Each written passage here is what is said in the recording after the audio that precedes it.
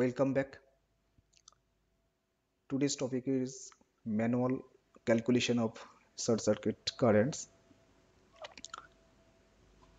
So whenever we are using the manual calculation and we are going to validate using any simulation software like ETAP or similar type of uh, software that time we see that there are lot of discrepancies or mismatches we can found. In today's video I will discuss how to calculate manually how to calculate short circuit current three-phase short circuit current and single line to ground fault short circuit current. And also I will validate using ETAP software. So let's take a simple network just like this I've drawn a simple network where there is a grid there is a two winding transformer one motor connected with this 11 kV system and another lamp load is there. So it's a simple network. So if you can understand this simple network you will be able to perform the short circuit analysis for any complicated system as well. Rather today's topic will be emphasized on the manual calculation and obviously validation using that ETAP software. How to do that? Each and every single component whatever I have modeled here I will show you. First of all whenever we are performing the short circuit calculation using any manual method we are going to skip lot of things. Number one is that C factor. What we consider in ETAP software if we see for from this short circuit uh, study case editor here the C factor the C factor is used for this medium voltage is 1.1 but whenever we are performing the manual calculation we are not using that C factor. We are not considering the C factor. That's why that result will not that result will, not match with that software output. Another thing is that generally whenever we are performing that calculation using manual method we are considering the Z value. Means only the impedance not R value or X value separately right? It may be grid source grid it may be transformer it may be motor or any other loads. There may be some differences. Number three is whenever we are using that uh, you know that transformer during the manual short circuit calculation we are not using this impedance correction factor KT this impedance correction factor this 0.95 into C max means the C factor 1.1 divided by 1 plus 0.6 into transformer reactance. So this impedance correction factor KT value we are not considering in manual calculation. That's why the result will not match with the ETAP generated software uh, or any software generated outputs.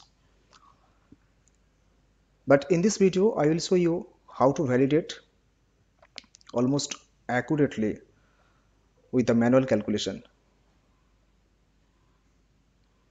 And also how to find out that three phase fault current or single line to ground fault current. If the motor is connected how the motor parameters will be modeled and how does it impact in the short circuit contribution in the power system network. Whenever we are using the cable that cable resistance R value that should be corrected uh, R value based on this formula IEC formula. And each and every time we need to calculate the positive sequence impedance negative sequence impedance as well as the zero sequence impedance for the unbalanced ground faults. So these unbalanced system components are required to perform that short circuit calculation asymmetrical short circuit calculation so we need to we need to check the value of Z1, Z2 as well as Z0. When the motor is also connected and along with that lump load is connected, how it will impact, how it will contribute in the short circuit contribution. We'll check that thing also. So whenever we are going to perform that manual calculation first of all we need to model the grid. That means the source grid. We need to specify the short circuit current of the source grid and also the x by r ratio. So these are the input parameters. Based on that ETAP will calculate based on that software will calculate and where to put these values. This is 40 coulombs short circuit current and x by r ratio of the source grid. So these two are the input parameters and based on that ETAP will calculate the positive sequence percentage R and positive sequence percentage X value so and definitely that is based on the 100 MVA base because ETAP will consider this 100 MVA base by default value. You cannot change this 100 MVA base. So based on this 100 MVA what will be the percentage value of R? What will be the percentage value of X? And also the negative negative sequence percentage R percentage X here you cannot edit this negative sequence value because ETAP will assume that positive sequence uh, reactance and resistance values are exactly equal to negative sequence resistance and reactance values. And the zero sequence will be different. That may be different but here it is same. It is considering same. So this positive sequence percentage are 0.09349 in our manual calculation you can see this is 0.093488 or 0.09349 percentage x it is also matching with this ETAP. Coming to the next item is the transformer. Transformer is 25 MVA, 110 kV bar 11 kV transformer, percentage impedance 10% and X by R ratio 20. So these are also the input parameters. These are also the input parameters. Here you can see I have used typical Z and X by R value. So 10% in percentage impedance and X by R ratio is 20 rating 25 MVA transformer and we need to change the base of the transformer then impedance correction factor will be there and based on that we need to calculate positive sequence impedance Z1 Z2 and Z0 to get to get the three phase short circuit current single phase short circuit current right. So all these things we can we can simulate also using this short circuit. You can see 19.313 kiloampere. This is as you can see this is three phase short circuit current. So 19.313 kiloampere. And if you go here as per our manual calculation it is there. 19.311 and if you see single line to ground fault it is 17.45 if you check single line to ground fault it is 17.45 so how to validate this? I will show you.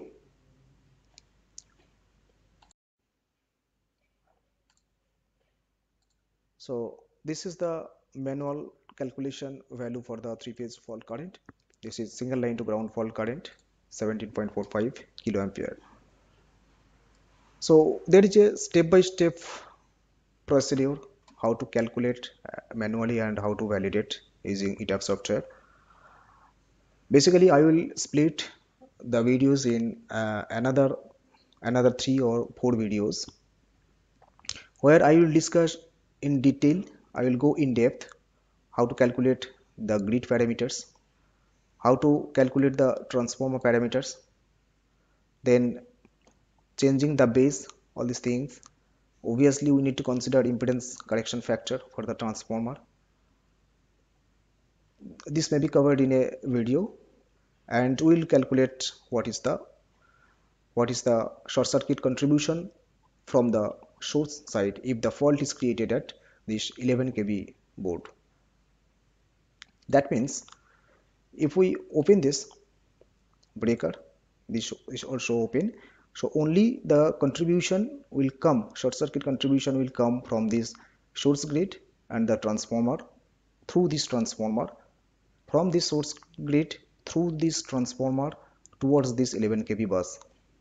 Now let's run this 60909 and let's check what is the what is the fault contribution. This three phase short circuit so it is coming. 14.123 now the lump load is not connected. Also the motor load is also not connected. Only the source grid contribution. So whenever we are calculating manually also we should not neglect this source grid side fault contribution. We have to consider this we have to consider these grid parameters means grid resistance grid uh, grid reactance values so that it should not be neglected. Not only the not only the downstream loads which are connected with this 11 kV bus, bus but also from the source grid. So it plays an important role whenever we are calculating the short circuit current at, at this 11 kV switchboard. Sometimes we neglect this. Source side means source impedance. We consider it as the ideal source. But in reality there will be some short circuit current contribution from this source grid. Though there is a transformer connected in between that will limit the fault current. But this source contribution should not be neglected. Okay so in this manual calculation we'll split the upcoming videos. The second video will be related to this when we are connecting the motor load how the resistance and reactance values will be calculated and accordingly the values of Z1, Z2 and Z0 and based on that three phase short circuit current value and single line to ground fault current values will be will be calculated another video will be will will cover this including the lump load. As you can see this is the motor load and this is the lump load. So now if we consider all the things like this source grid contribution for current contribution lump load for current contribution this side motor short circuit current contribution all these three contributions will be there. And based on that what will be the short circuit current at this 11 kV bus? It may be three phase fault. It may be single line to ground fault. It may be line to line fault. It may be double line to ground fault. So we'll check using this using this manual calculation. That may be that that can be uh, third video. So in this way we can split three or four more videos. We will go in depth and we'll check and validate with the software generated output as well. But before moving forward I would like to share with you there is a membership there is a membership offer in this channel where you can find the membership. Is that only if you subscribe as a member for this gold package or this diamond package you will be able to watch the videos where the detailed short circuit calculation manually and validation using ETAP software that can be available. And if you want to get this excel excel file if you want to get this excel file so that you can practice more and more you can use this excel file just changing the input parameters.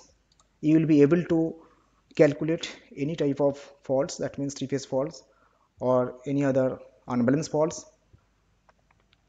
Means single line to ground fault double line to ground fault line to line fault all these things. Only you need to change the input parameters so that you can get the output results means short circuit currents. If you want to get this excel file also in that case you need to subscribe in this diamond package which is only 799 uh, rupees indian rupees only. But if you subscribe in this gold package definitely you will be able to watch the videos but you will not get the excel file. If you want to get the excel file you need to subscribe in this diamond package so we will see in the next upcoming videos where the detailed calculation using the ETAP software validation will be discussed. So in this video up to this we'll see in the next videos